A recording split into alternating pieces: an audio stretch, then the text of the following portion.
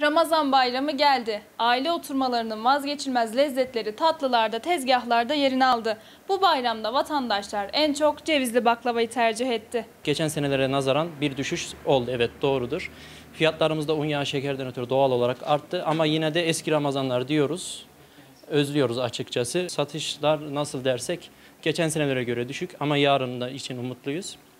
Ee, genel olarak ürünlerimizde fıstıklı soğuk baklavamız da var. Ee, ürünlerimizin tamamı tereyağlı, aynı zamanda el açması.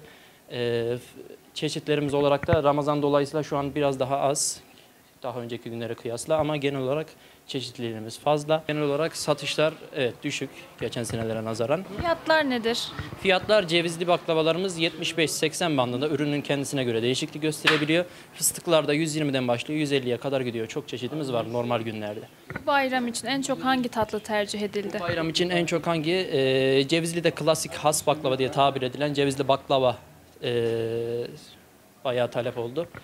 Fıstıklılarda da genelde fıstıklı özel ürün diye tabir edilen küçük boyutlu olanlar ta- ee, tavsiye ediliyor. Çünkü adede daha fazla giriyor kilo olarak. Şöyle söyleyelim, geçen sene Mart ayıyla pandemi maalesef ülkemize de giriş yaptı. Ee, ilk başlarda gerek kredi kartından temassız özelliği olsun, insanlarımızda bayağı bir hassasiyet, takıntı boyutuna gelmişti adeta. Ama ondan sonra bu seneden itibaren bilhassa son 3-4 aydır gerek maske diğer özellikler olsun açılma sebebiyle olumlu yönde bizde de bir artış oldu. Tabii ki pandeminin ilk zamanları gibi değil. Çünkü pandeminin ilk zamanlarında bayağı bir kısıtlama vardı. Bu, bu bizi de bayağı bir olumsuz etkiledi. Gerek satış olarak, gerek müşteri yoğunluğu olarak. Bayramda açıkçası satışlarda bir artış bekliyoruz. Tabii bu bizim de e, olumlu etkileyecek. Özellikle pandemide insanlarda bir bunalma hadisesi oluştu ve bu da bize de olumlu yansıyacağını düşünüyorum. Çünkü insanlar kısıtlandıkça malum daha da talep artacak ve açılma süreciyle birlikte de tatlı satışlarımızın artacağını düşünüyor. Tabii ülkemizde malum alım gücü düştü. Bu da bizi olumsuz yönde etkiledi. Ee, geçen seneye kadar bu hadiseyle pek karşılaşmazdık ama bu seneden itibaren